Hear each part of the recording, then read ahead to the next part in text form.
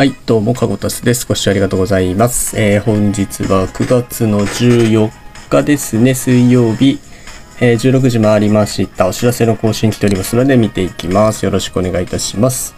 まずは、ドリームコレクションが来ております。えーこちら、まず、詳細ですね。はい。えー9月14日水曜日16時から21日水曜日15時59分までということで、はい、えー、まずは、とイラストがあれですけども、はい、えっ、と、ヘルナンデス君はロンバルディアということで、はい、あのーあれですね、えーネクストドリームではないということですね。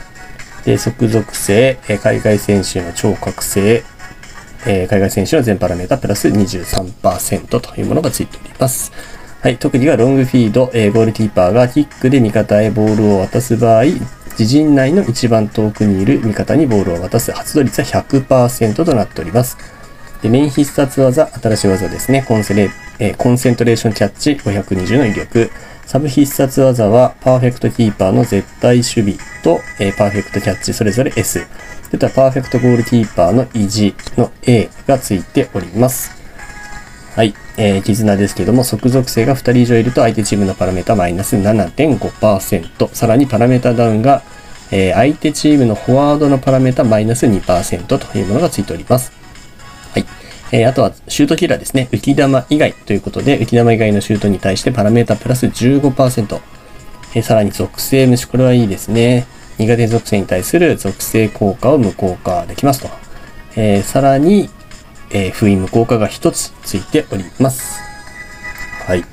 もうデバフのね、えーデッキの方には本当必須になるような、えーキーパーじゃないかなと思います。はい、続いて赤井くん、えー日本リグーリアということで力属性となっております。はい、えーチームスキは日本選手の超覚醒、日本選手の全パラメータプラス23%。特に自動パスカット強化。ブロックはないですね。自動パスカットのみということですけれども、100%発動ということで恐ろしいです。はい、メイン必殺技、新技ですね。追い抜きパスカット490威力。サブ必殺技がアグレッシブ直角ディフェンスの S、あとはショルダーブロックの S がついております。ポジションは2つできますね。ディフェンシブミッドフィルダーとディフェンダーということです。はい。えー、絆は力属性が2人以上いると全員のパラメータプラス4.5%、さらに、えーパラメータダウン耐性が4%なのでね、平常で8.5%かなり優秀かなと思います。はい、えー、さらにパ,、えーパラメータアップがディフェンシブミッドフィルダーとディフェンダーのパラメータをプラス1.5%ということですね。はい。で、渾身の一撃がついておりまして、スタミナが多いほど必殺技力がアップ最大20%。で、えー必殺技封印は1つとなっております。はい。なんで、この、えー必殺技の封印に関しては、何らか1つはね、えー確実にパーセンテージ書いてませんので、100%発動するものかと思います。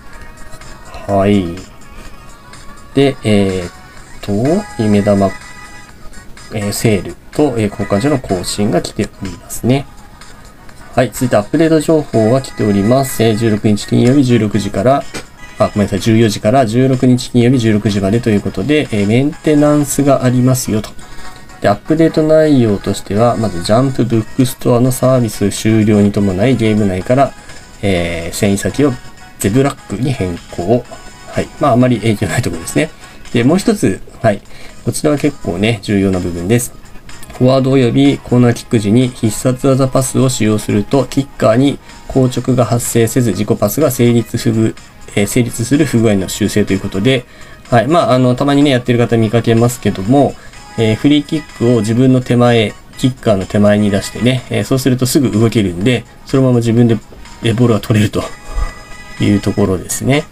はい。なんで、今それが、えーっと、発動しちゃってますけども、それが治りますよということで、まあ、硬直するというところです。はい。続いて、続いて、ガチャ。ガチャが来るようです。はい。えーっと、ネットイタリアを操る猛者たちということで、ユリアーノ・ゴッツァは新必殺技ブロック持ちとありますけども、えーゴッツァさん、えーボバング、さらにカンナバルですかね。はい。えーこちらが金曜日、16日金曜日16時から23日金曜日15時59分までということで3選手登場するようです。はい。で、それぞれの優勝のステップアップもあるようですね。はい。コツさんがブロック持ってますよと。で、ボバングに関しては、パラメータダウン耐性持ち。ああ、デバフガード持ってるんですね。はい。で、カンナバルが相手のパラメータが高い際に力を発揮する効果を持っていますということです。はい。まあ、この辺、まあ、どっちかっていうとね、えっ、ー、と、中盤から後ろの選手になるのかな。ボバングも多分、ね、えー、まあ、いろんなポジションができる選手ですけどもね、まあ、割と後ろのポジションだと思いますので、まあ、なんだろうな、あの、あまり大きくね、えー、勝敗に左右するようなものじゃないとは思うんですけどもね、はい。というところでございます。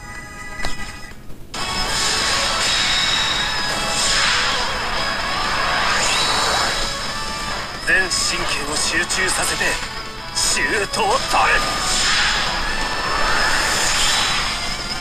俺の前で好き勝手にはさせないぜ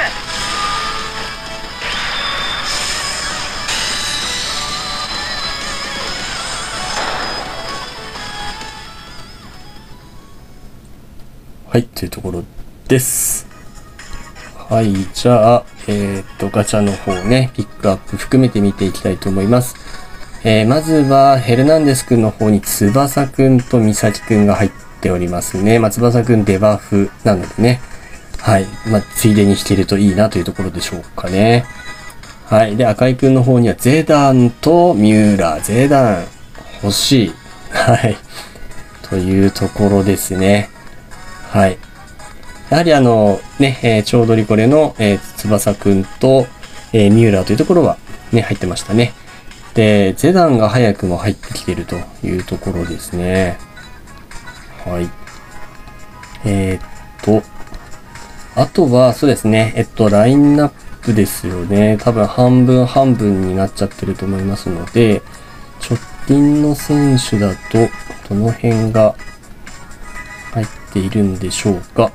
ゴッツァさん、ジェンティーリ、ラドゥンガ。ジェンティーリ、ラドゥンガはね、デバフ持ちですからね。えー、この後、あと、ロベルトもデバフか。だからデバフ寄りの選手が、えー、と、しっかりとえー、こちらね、ヘルナンデスのに入ってるっぽいので、まあ、ヘルナンデス引く中でね、デバフキャラがポロリと出る可能性もあるのかもしれないですね。はい。で、赤井くんの方にっていうことは、スタインなんかはこっちなのかな？直近のやつだと、スタイン、パスカル、若林、サンタナ、ね、こういったところが赤井くんの方に入っているようです。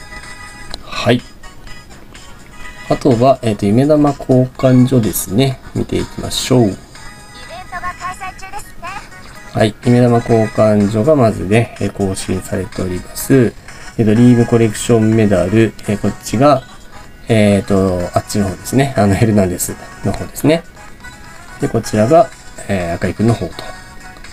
あとは、夢玉交換所には、えっ、と、まず、ヘルナンデスくんの黄金の右腕、あとは翼くんの新ゴールデンコンビ。新ゴールデンコンビやから、えっ、と、リバウルさんとね、やつですね。あと、オーロラカーテンがあります。で、えー、ミサキくんのアーティスティックドリブルと華麗なパスカットがありますよと。はい。で、えー、赤井くんのデンジャラスドリブル、豪快なクロス、ミューラーくんの、えー、鋼鉄の巨人、ゼダンの、えー、巧妙なスライディング、テクニカルコンパクトシュート、えー、ピンポイントテイクパス、こういったところが追加となっております。はい、えー、そんなところでしょうかね。はい。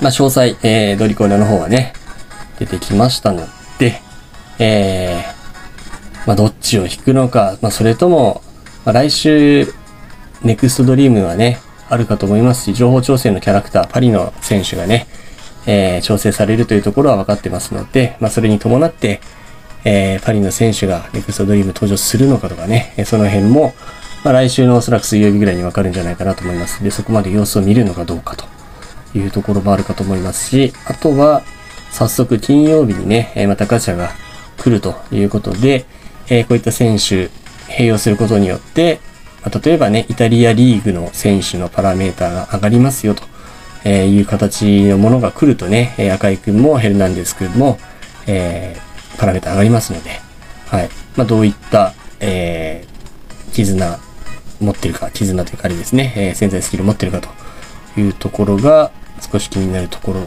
ではないでしょうか。はい。